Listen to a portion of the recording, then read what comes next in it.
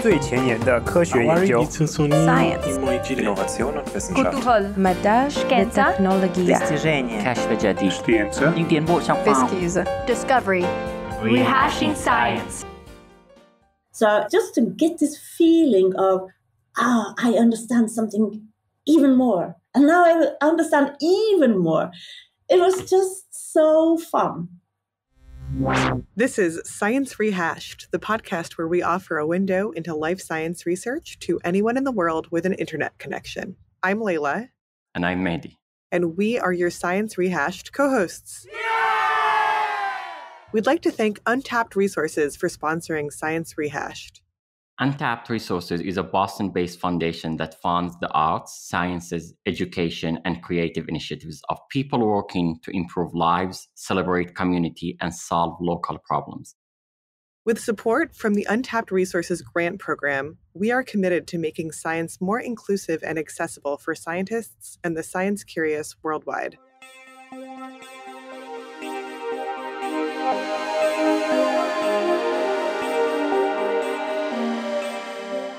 For this episode, we have interviewed Dr. May-Britt Moser, a Norwegian neuroscientist and psychologist whose work has uncovered the neural underpinnings of some of the most basic aspects of being alive, finding our way, marking the passage of time, and forming memories. In 2014, with her colleagues Edvard Moser and John O'Keefe, Dr. Moser was awarded the Nobel Prize in Physiology or Medicine for discovering the network of neurons deep in our brain that enable us to navigate our homes, cities, forests, and anywhere else we might find ourselves. Today, Dr. Moser leads the Center for Neural Computation at the Norwegian University of Science and Technology, where her team seeks to uncover the neural codes that help us make sense of what our senses tell us. Our talk with Dr. Moser was just so fascinating. We talked about her research, of course, but our conversation also ran the gamut from growing up on a farm to how good science gets done to the baby pink poster that jumpstarted her career.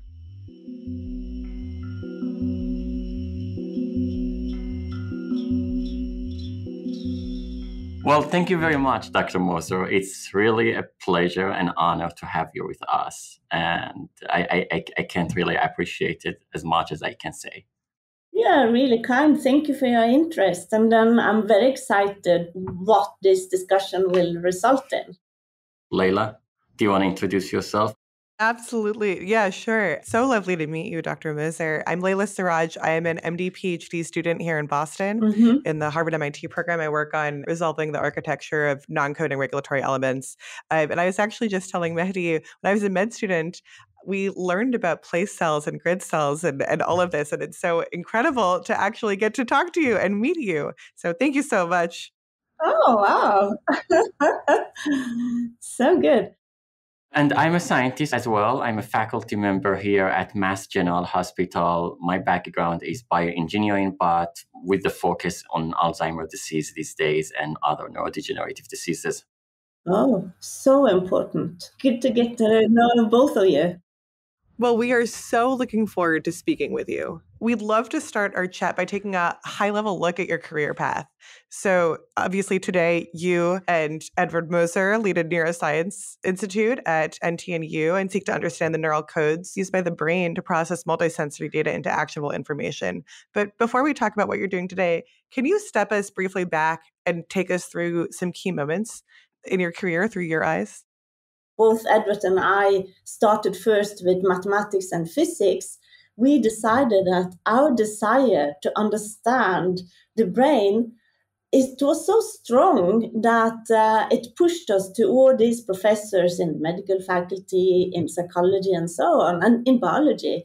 And then uh, finally, we ended up studying psychology because we thought psychologists they have to know about the brain but they didn't know that much at that time. So then they advised us to contact the medical faculty and through some other years where we studied only behavior, finally, uh, both of us were accepted as master students with uh, Per Andersen. So he was really essential. So for us to be allowed to work with him was a big, big deal for us. And uh, so the career sort of started there, but the interest started, especially for me, when I was a child. Uh, I was so interested in behavior and what happens inside us when we decide about doing something, thinking, showing emotions. And Edvard, he was more the science person because he got all these books about uh, all these inventors and so on. I heard he's the volcano guy.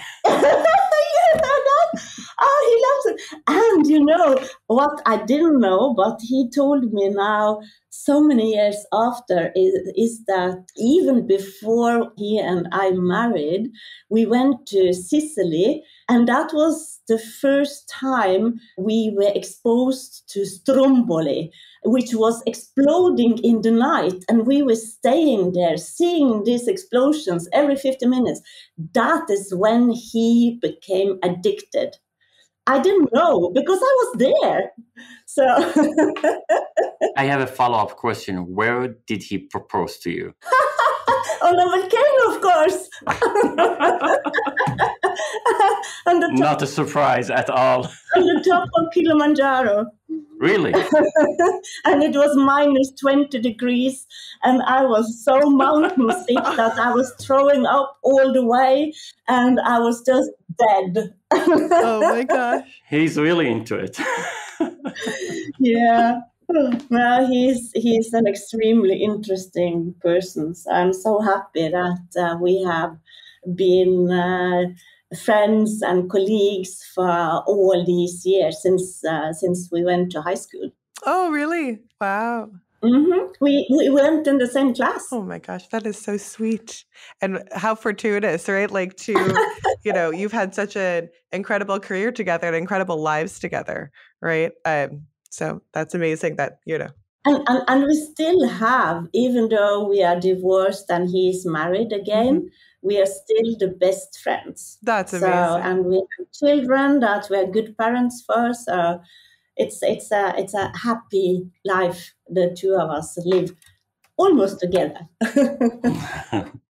you were saying that you were always interested since you were a child about like brain and behavior and you know how we think about things and how that gets translated to action. Can you tell us more about that that interest, how it started, what it was like in your childhood? Yeah, so I'm from a non academic family. So I was raised on a farm in a small island at the west coast of Norway. And uh, we had a lot of nature, but we also had a lot of schools and we had a lot of visitors coming to this place. So I was exposed to many different people and to animals. And I saw the choices that people and animals did.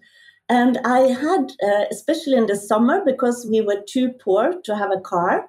So my friends, they would go for holidays and I stayed home at the farm. So I had a lot of time to just sit there and use my fantasy and play with the animals and so on. And you know, when you can do that and be happy with yourself, then you start to get all these ideas. So people would call me the professor because I had all these questions. And when I came to school and I found out that my teachers could answer questions that I didn't get answers to before, I was just, give it to me. so it was just, I need to know more. I, know, I need to know how this works then so you went to school right and you had you know for the first time you're sort of exposed to like this is an actual career path and people who could give me answers. Can you tell us about some of the challenges that you encountered as a young scientist, as a young researcher with uh, these ambitious goals, and how you kind of navigated your way? That's so exciting because um, I think I was sort of naive and blind. So uh, the challenges, if they existed, they would be more motivators for me mm-hmm. because I was so naive that I, I didn't think that uh, such hindrance should be affecting me uh-huh. because I had, if you understand me, that I was crazy or something, but it was just that I thought that this just has to work. Why shouldn't it? Mm-hmm. Mm-hmm. This is also a question that I have realized afterwards is very important for other females because I, tomorrow I will give a talk in China that I just had to prepare before I came here. Mm-hmm. So I sent off the slides about uh, women in science. And I haven't been thinking too much about it because I have been too naive and I've been too lucky, sort of. But then when I started to think about it, then I realized that we have all these fantastic role models around that made me self confident. It, it shouldn't matter if I'm a man or a woman, or I, I should do my best as a scientist, not not to show off or to be decorated, but because I really want to get the answers to my questions. And we are back to the curiosity. and that's what and and that's what will get us moving every day as scientists in the labs. Exactly. I was going to say that resonates so much with me. You know, I, similar to you, I come from a family not in academia at all. Um, but in, in my family, my mother studied math and became an architect after that. So she's very precise and very mathematical. And I loved and math and science. I had all these questions in school. And so when I was in high school, I remember one of my teachers, you know, asking, "Oh, which of you love math and science?" And I raised my hand. I said, "Oh, which of you love history and whatever?" And I also raised my hand, you know, because I loved everything. And I remember my teacher saying, wow, so, like, you know, it's nice to see so many women who are interested in math and science. And I was like, well, of course they are. Why not? Exactly. You know? Why wouldn't we be? Exactly. So that is what that was my reaction too, because when I studied physics at the university, one one of uh, the female professors, uh, or she was uh, just an assistant, she came to me and she said, "Do you want to join the female club?" And I said, "What?" why should I do that? I want to be with all the other ones in the class. Mm-hmm. I don't want to be picked out and treated special. Yeah, yeah. But but now I understand. Mm-hmm. even though I I didn't realize that it was special to to be interested in mathematics and physics for a woman, um, I still see that some people also need protection and good role models. So I'm much more humble and wiser today than I was because I was. yeah, and you were just so focused, and and you were like, you know, these yeah. are the questions I want to answer. I'm going to answer it however I can, right? But now exactly. you can reflect and sort of see all these challenges. Exactly. So it reminds me about when I had to learn. Um, so a carpenter has to learn to use these uh, machines and so on. And in school, we had one class that we could choose either that or knitting. And I knew knitting because my dad had trained me to knit. So then I went to these machines because my dad was a carpenter and I wanted to learn more his tools and, and his way of working. And I went to the teacher and I said, I want to learn about these machines. And he was just looking at me and said, What? Are you crazy? A, a girl? And I said, why not? Yeah, you have long hair. And then I said, have you heard about hair nets? And just, but he refused. And that was such a surprise to me because why should it matter? Yeah, it's like your stories resonate with a lot of us, I'm sure, and with a lot of listeners after listening to these episodes. You mentioned that we always looking for a role model. Sometimes I think the role model also comes from the family. In my case, I was like the first gen to go to the to the university to study and doing research. Um, my mother was a housewife never was educated because of several reasons that it's out of the scope of this episode but she always taught me either you go to the school, you do science, and you become independent and you become someone that will get respected and help make the world better, or the other options are not going to discuss that what's going to happen. So at any point in your life your your your parents played that big role even sometimes just by saying oh you're going to become a housewife if you don't study very hard and you go to How the school. did you know? So, so you know, uh, uh, my mom was also a housewife, and sometimes she had some small jobs, but uh, but but she also had the farm, and she was looking after five children, even though I was the youngest.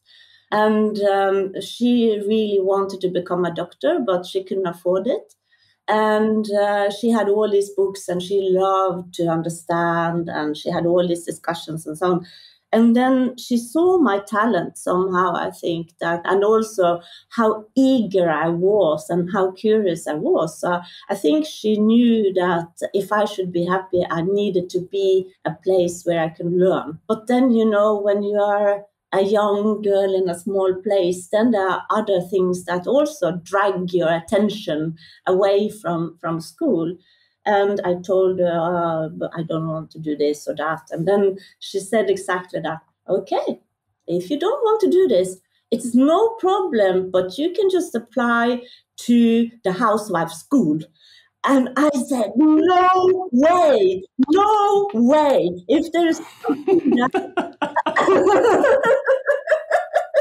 and it wasn't that I didn't like to make food and such things. I love that. And I was really uh, fond of uh, of children because I, I was an aunt when I was four and so on. So, so it wasn't that, but to just be a housewife and then to be blocked from learning and doing things to explore things no way. So she knew what to tell me for sure. Wow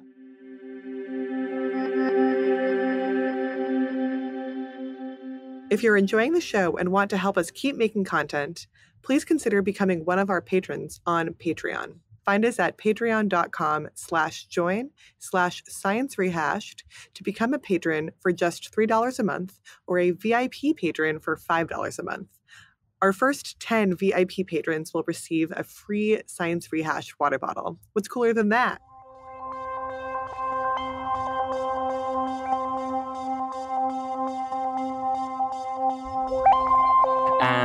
So then you I, I, I will call the Mosers, mm-hmm. to scientists, inspiring scientists with one mission. You both were fortunate to get into the same school, correct?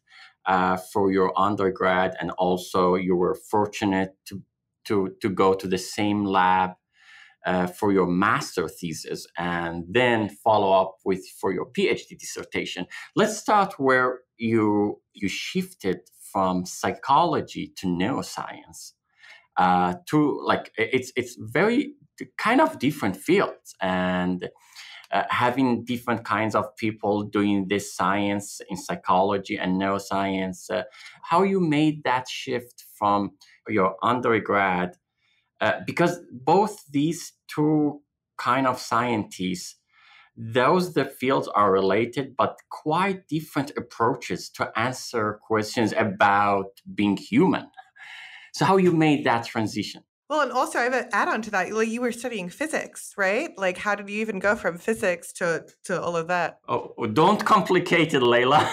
I'm making it complicated. I'm so curious. it's already a very complicated story.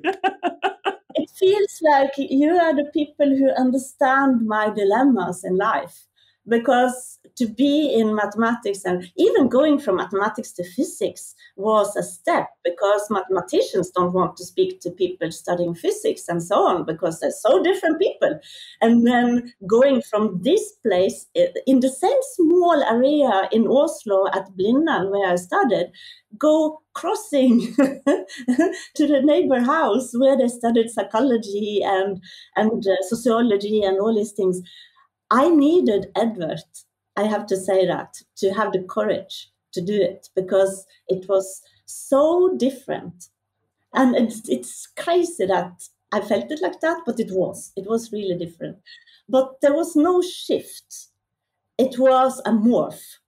And the way we morphed it is that because we are clinical psychologists, that is so we are allowed to practice we we have this letter from the king you can practice like doctors um, so, I, so I, love that in norway everything comes from the king to get permission of course course, we love our king. no objection. yeah, so what happened then uh, was that when we just started to study psychology, we went to one of the professors in psychology and then we worked with him. But he worked at the medical faculty so that we worked in the night uh, with him and then we're proper students during the daytime. And then when we didn't believe in the models that he could provide us, then we went two months to Sweden and we were not happy there either. And then the professor in Sweden said, the last hope you have to be happy is to go back to Per Andersen. And then since we knew it was our last hope, I remember it was like I had super glue on my clothes. So I was just stuck to the chair and I told them, I'm not going to leave this room before you accept us as a master student. And wow. in fact, we want to take a PhD with you too, just so that you are prepared. And he was just, what are these people?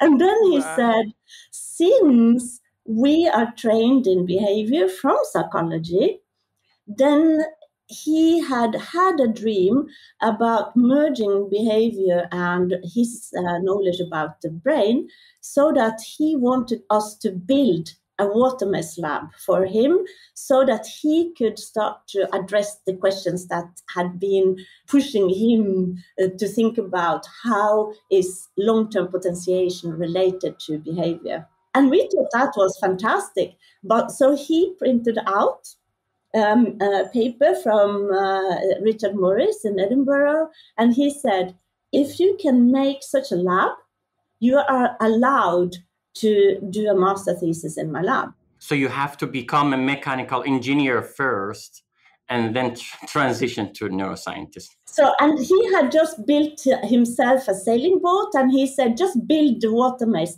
two meter in diameter but I had been trained also as a neuropsychologist. So I knew that my brain shouldn't have this exposure to all this plastic and these fumes. So I said, I'm going to, to get it. So I, through some connections, I could buy uh, the watermaze and we put it up and we designed things and showed him, look here, we can get this to work. And he was so impressed. So and, and then I, I just have to say that because, as you said, at that time we were married. Um, we came uh, from, then we had the same supervisor. We lived in Oslo. In, in Norway at that time, it was uh, an extreme egalitarian system, so that money should be flat over in Norway. And we even worked on the same brain structure. Edvard more with physiology and I more with anatomy. We worked on hippocampus. And then we wrote our grant proposals, Edvard and I, and we asked if we could be allowed to submit that to the Research Council. And Per said, No way that both of you would get this. And then he said, You have to choose who is going to do physiology, and then I can help the other. And uh, then I said, Edvard can take the physiology. I, I'm interested in other things. And then he said, okay, um, you can do that, but then you have to do this and that. And I said, no way. I'm going to do what I believe in. I'm a psychologist. I believe that the brain is plastic and I want to see the spines exploding after learning. And he said, She's crazy.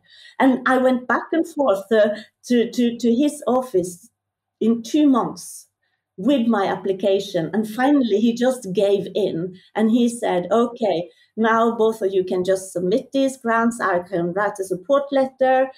And the two grants they had that year that went to Edvard and me. That's amazing. That is incredible. So you see, well, again, we were just driven by, they call it passion, but I would say that uh, sometimes uh, I feel a bit insane because I'm, I'm not anchored to reality as I should.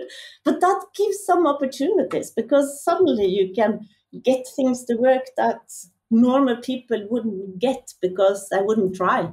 Or we, we, we, we, we call them maybe non scientists instead of normal people.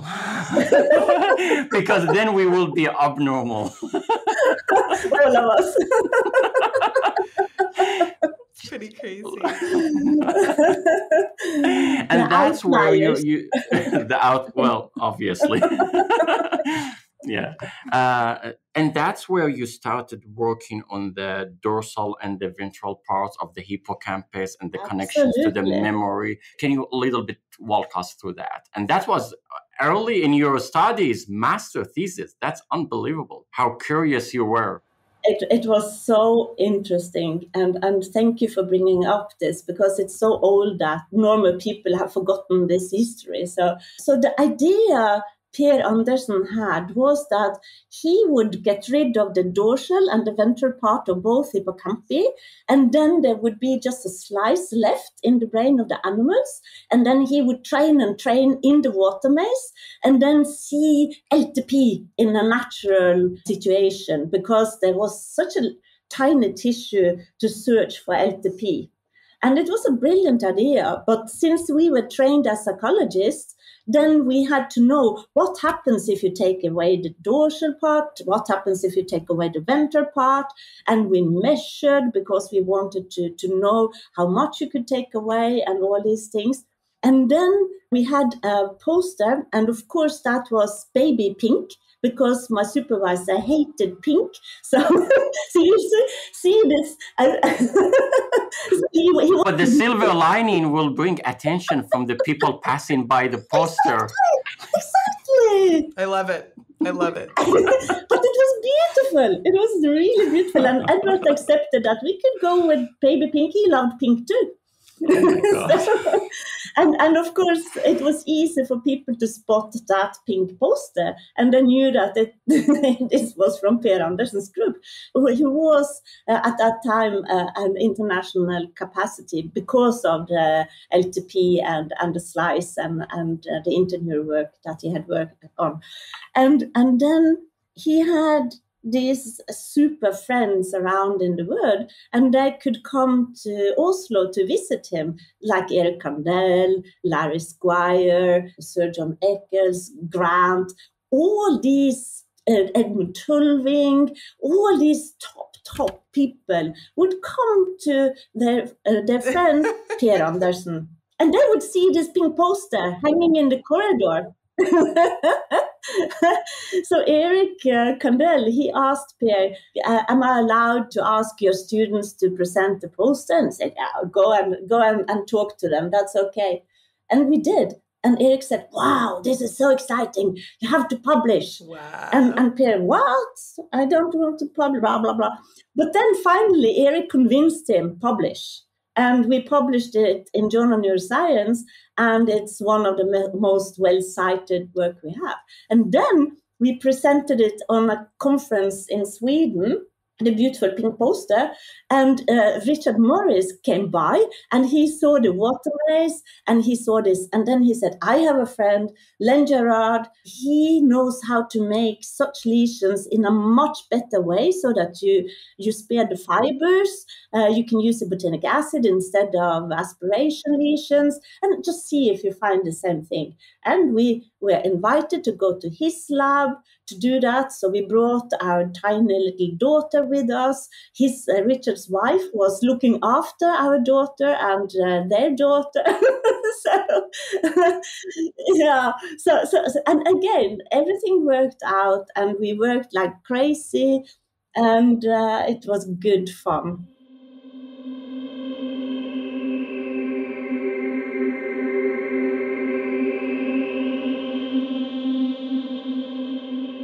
If you're enjoying this episode, join the conversation with us on Twitter at Science Rehashed, where we will be rehashing this episode. Don't forget to follow us on all of our social media Facebook, Twitter, and Instagram at Science Rehashed to stay in the loop about our new episodes and upcoming interviews.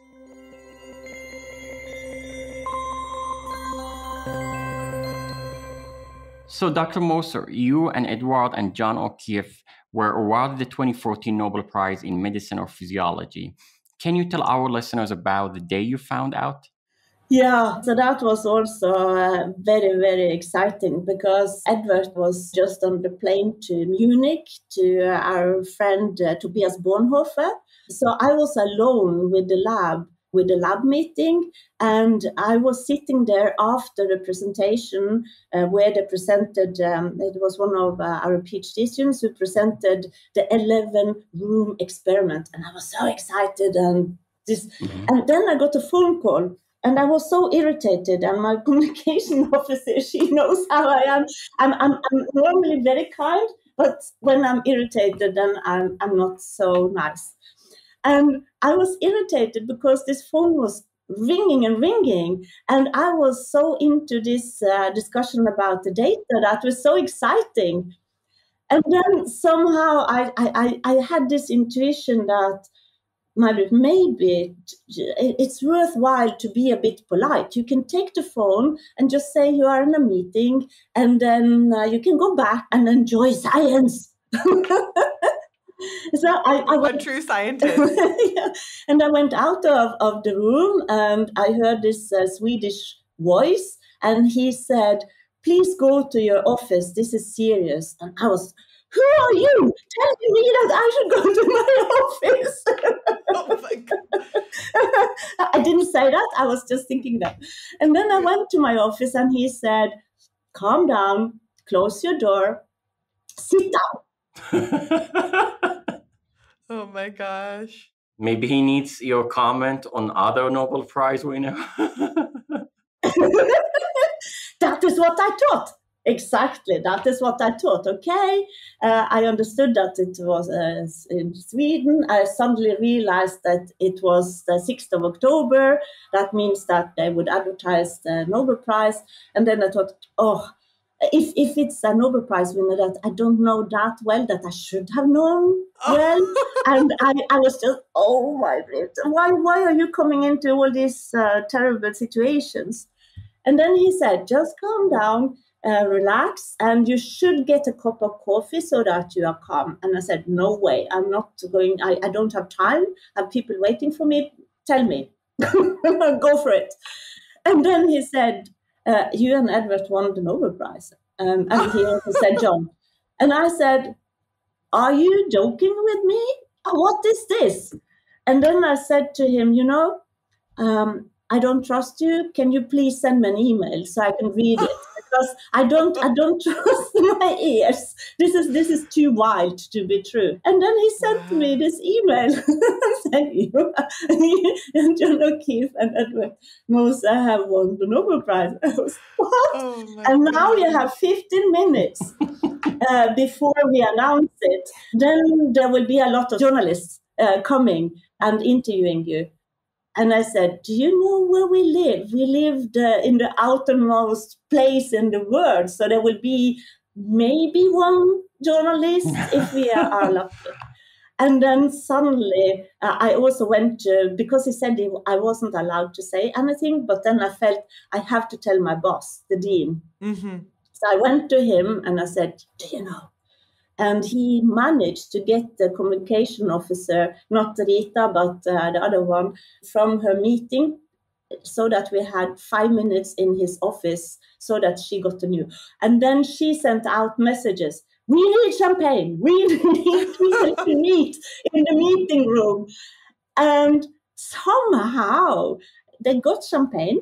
And when I came out of the dean's office, it was like going in a bee swarm. Wow. It was just crazy with all these people and journalists and people from the lab who had got to know. And I didn't believe my eyes. And then we came up in the fifth floor and I had to talk with the prime minister. I had to talk to the chair of NATO, Jens Stoltenberg, because he had been here when he was a prime minister. And I was just, what is this? This is so crazy. And then we couldn't get in touch with Edvard because he was in the Oh my god.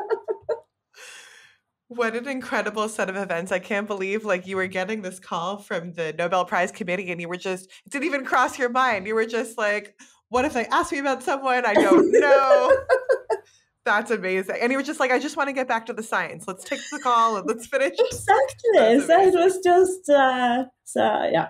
But then when I got to know, then I suddenly, because I'm, I'm a very emotional person, and uh, when I got to know, then I suddenly was dancing. Wow. So the communication people here at NTNU, they put um, uh, um, uh, Williams uh, happy uh, as the tone that I was dancing, and it it would fit so beautifully. So I can send you the link. It's on YouTube, and it's just crazy. I was You won the Nobel Prize for discovering grid cells and their role in navigation.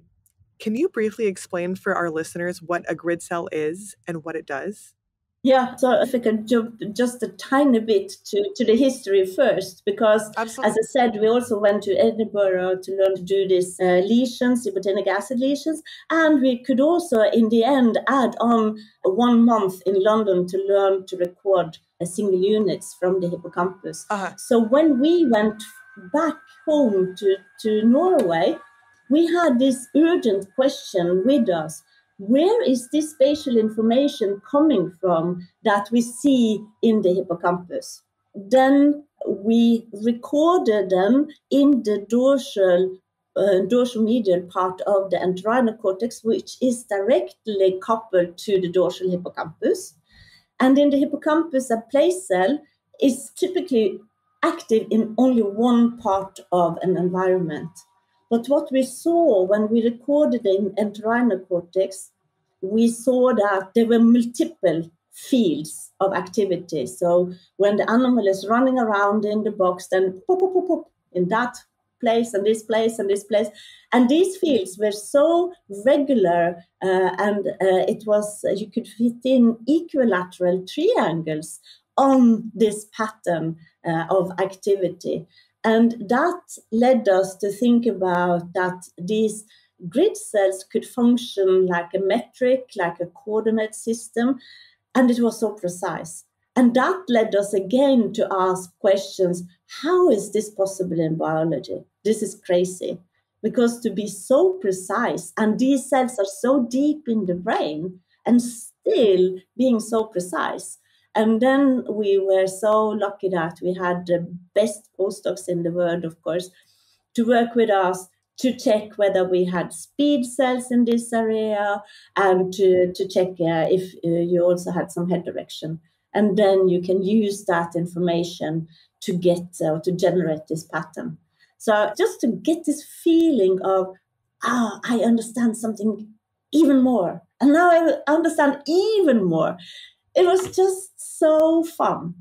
That's absolutely incredible. I remember learning about grid cells and how spatial information is encoded in med school. And I remember uh, they were telling us about um, London cab drivers where you're not allowed to use a GPS, right? You have to have mm-hmm. this map in the in the back of your head. They're trained for more than three years yes, exactly. before they get the, the license. All this specialized knowledge. I can't imagine what the grid in their hippocampi looks like. You know what I mean? Exactly.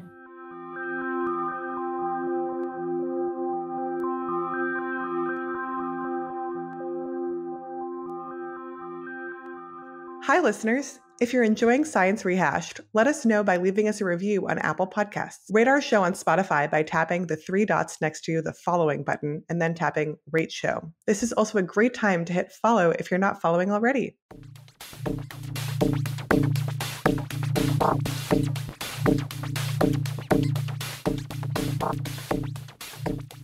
We have sort of a little bit of out there question. You know, you've talked about this sort of burning desire to understand how our brains map out our experiences, right? And you've done all this work, right, as a neurologist. How has your work as a neuroscientist affected your perspective as, you know, a human being who's also moving through space and time and mapping out this world around you? How's how's your work impacted that? Oh, that's a very exciting question because people who know me, they know that I struggle with both time and space so, and in psychology, we were joking about people study psychology because they want to learn about themselves. And I had to go deeper, so I had to learn more about time and space. so, but what it taught me is that when people, normal people, even though I say I'm insane and, and strange and so on, I think of myself as a normal person with a normal brain. And in my normal brain, the grid cells and the head direction cells and all work. Even if they are working really well, still I'm lost many times. And that means that I have to sort out where is this coming from? Why am I so bad finding my way when I have all this equipment in my brain? And then it's easier to think about what happens when I walk around. I have to pay attention.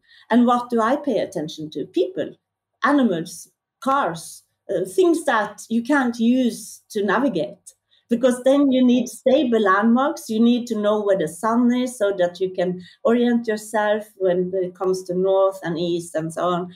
And I didn't pay attention to that. And then you get lost. And that was such a comfort for me. And I pet my shoulders and said, Oh, May-Britt, you will be fine one day. You can just pay attention. And then I got a dog, and I have to run around with my dog, and we have to find a way back to our house. so now I pay attention to, to stable landmarks. I'm going to a little bit shift gears here. You mentioned about dancing, and also you mentioned about playing in childhood and the curiosity. Uh, we would love to hear more about how really good science gets done in your unique experience. You have talked about the importance of playing, uh, dancing, childlike curiosity, and also I quote you uh, in one place you said when you have questions that you really wonder how to address it's important that you can play. Mm. what do you mean by play in the context of scientific research? So first of all i think that if we go even further out and take a meta perspective here the curiosity uh, and passion together are driving this craziness for the questions but questions are of no value in science if you can't operationalize them. So you have to break them down to questions that can be addressed. And when they can be addressed, you need methods that can address them and technology. And that has always, and you also need theory to frame them so mm-hmm. that uh, you you so so so for example when when we discovered the torus why is it interesting to have a torus in your brain? It's interesting because uh, computer models have suggested that the grid cells would be generated uh, as a continuous network and then you would get a torus. And if we could show a torus with uh, mathematical methods like topology and and uh, that. So now i'm jumping. I, I, I know that. But what is important is that you have the theory you have the questions that you can break down and there should be big general questions so that you don't end up in a niche. And if you have these big questions then it will be very exciting. And if you are blessed like me to work with the best people in the world developing technology and so, for example, that we were allowed to join the collaboration with uh, Janelia Farm and all the others for developing NeuroPixel probes so that you could go from recording, say, at the maximum 10 grid cells at the same time to over 1,000. And that's crazy. And the tiny mini 2P microscope that we were allowed to work with these genius uh, engineers that could develop, like Weijian Zong, who developed and got this to work in moving, behaving animals. And then again, not only can we listen to cells and see cells but we know exactly where they are and we can look at them and we can recognize them and we can visit the same cells over days over weeks. And that that makes us able to address questions that we couldn't do before. And when we were students of course we had all these dreams of all the things that you could do um, if we had the technology if we had the methods. And suddenly we have. And it's just crazy. And then you get even more eager to use these methods and to understand more. Dr. Moser, it has been an absolute delight talking with you about your journey from Western Norway to the top of your field to the inner workings of the brain. As you look to the future, what are the most important gaps in the picture that you, Edvard, and the rest of your peers have been painting over the years?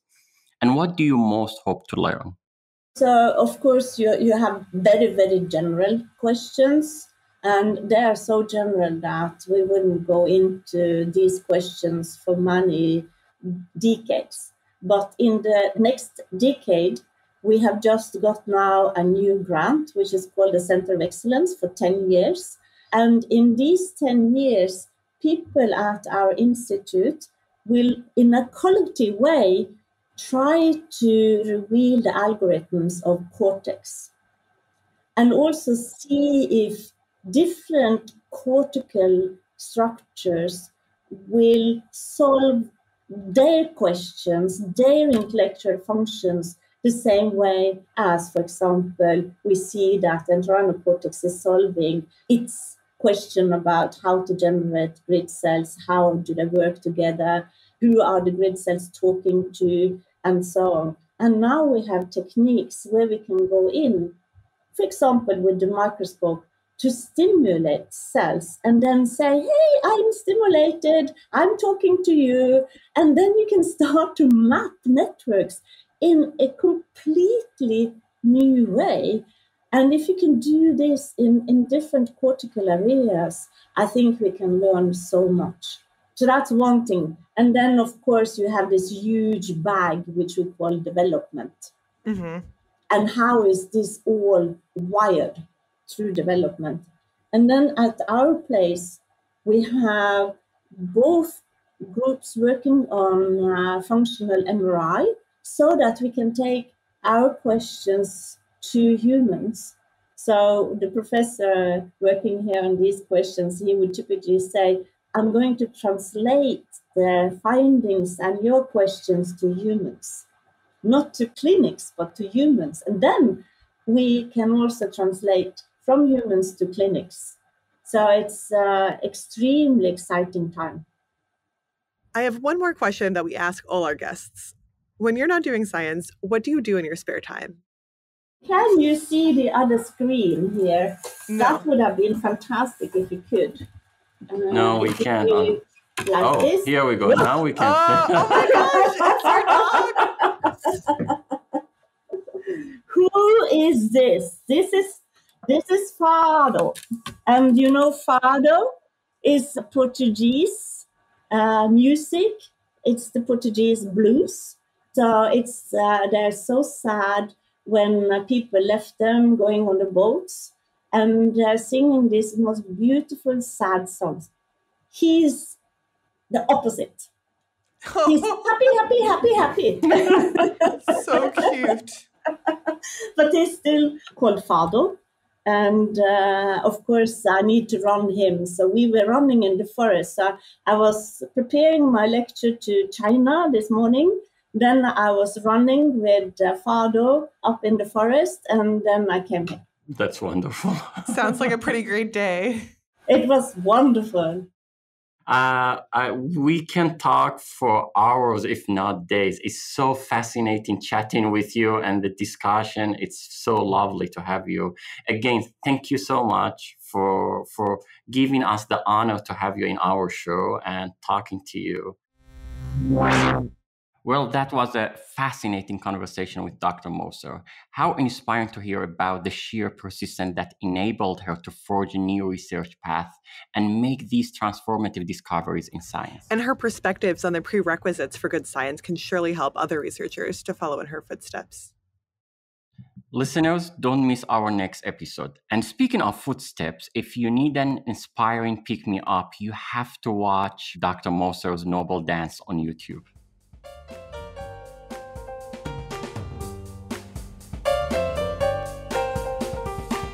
Thank you for listening to another episode of Science Rehashed.